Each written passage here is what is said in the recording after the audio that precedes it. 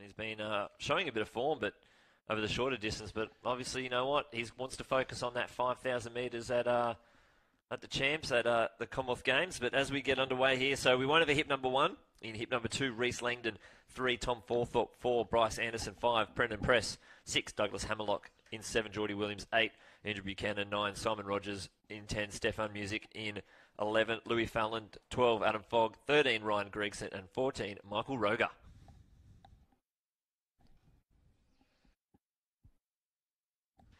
It'll be interesting to see how this one sort of develops here. We've got a couple of athletes out there with uh, qualifiers already. Obviously, Ryan Gregson, he's got himself an A. Geordie Williamsz has himself an A. And the other one is Tom Forthorpe. He has himself a B, 340.60. He's out there in this race too. So they're the three athletes in this heat with the qualifiers currently. They'll be looking to get themselves safely through to the final. They won't want to have any issues out there. And as you can see there, Gregson sitting in second. That's Forthorpe out in front. Williamsz there as well as the New Zealander Simon Rogers. And they're already starting to, to, to feel out this uh, little pack of four only through the first few laps here. So it'd be interesting to see. These guys know that um, they need to keep this pace pretty quick if they want to get the rest of the athletes through and not just the first three who cross the line. So hopefully a few athletes can join on that pack. But it is Tom Forthorpe out in front, Gregson, Williamsz, and Rogers. And probably a good 10 metres now. Back to Reese Langdon, who's uh, leading the catch up pack.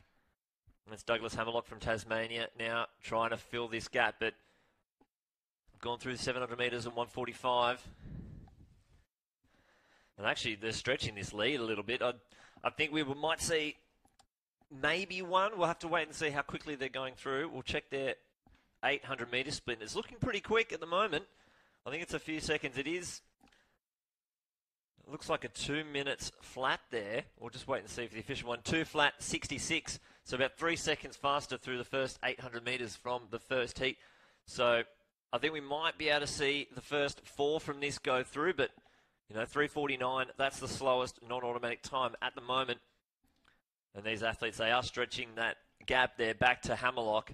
And Michael Roeger now starting to try and get on the back of Hammerlock and tuck in and try and ease that transition between that gap. But it is really starting to open up. It's about 20 metres now. Still Forthorpe, Gregson, Williamsz, and Rogers as they come around to get the belt with 400 metres to go in Heat 2 the men's 1500 metres. Uh, not much has changed here. They are sitting in those automatic qualifying positions, but Simon Rogers, the New Zealander, just off the back, starting to make his moves around the side of Geordie Williamsz. Ryan Gregson still sitting there comfortably. So we've got a B qualifier, an A, an A, and a New Zealander. As we see Gregson now pushing himself up into first place, having a look around, just turning the legs are over. And with 200 metres to go, Williamsz has a devastating kick normally, but this is just race practice. They want to just get those first three across the line, and these boys are really starting to wind it up.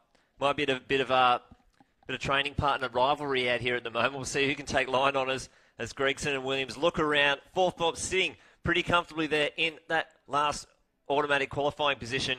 But the boys did enough around that bend, and they'll switch it off as they come to the finish line. And they should find themselves comfortably through. And again, very quick. And I think Simon Rogers might have done enough to move himself up into that fastest non automatic time.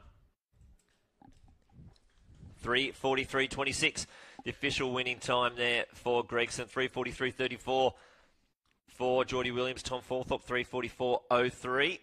We'll wait and see the time for the fourth place athlete, Simon Rogers. Yeah, it was another safe one by the top athletes.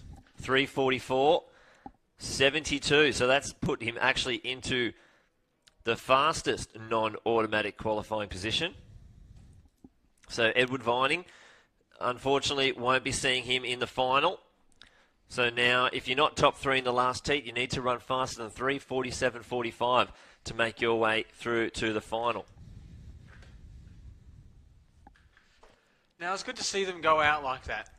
Take the race to the rest of the field, get out in front, stay out in front, and just run along with your race. It's it's one of those things, especially in major championship racing, a lot of the distance runners, sometimes a lot of them can fall into that trap of getting caught with the rest of the field. It becomes this tactical race. It ends up being a sprint finish down the final straight, and people miss out on final spots. Yeah, definitely. It is. It's good to see these guys really roll out. These are times that, that win the championships. I doubt that the final's going to be this quick. It may not be, and that's the thing is when you've got so many people with qualifiers, and especially A qualifiers, four A qualifiers out there. A lot of the time, it's not about the time anymore; it's about the placings. They've got to Well, make sure they take the win. Matt Centrowitz, Exactly. 350 flat to win Rio. I know it's amazing, isn't it? To look at that, it's it, give, it shows you some perspective of it. 343.26 there, now seven seconds quicker than winning the Olympic gold medal. Yeah, and that was the athlete who came ninth in that final. So it just shows, goes to show there's just so much more.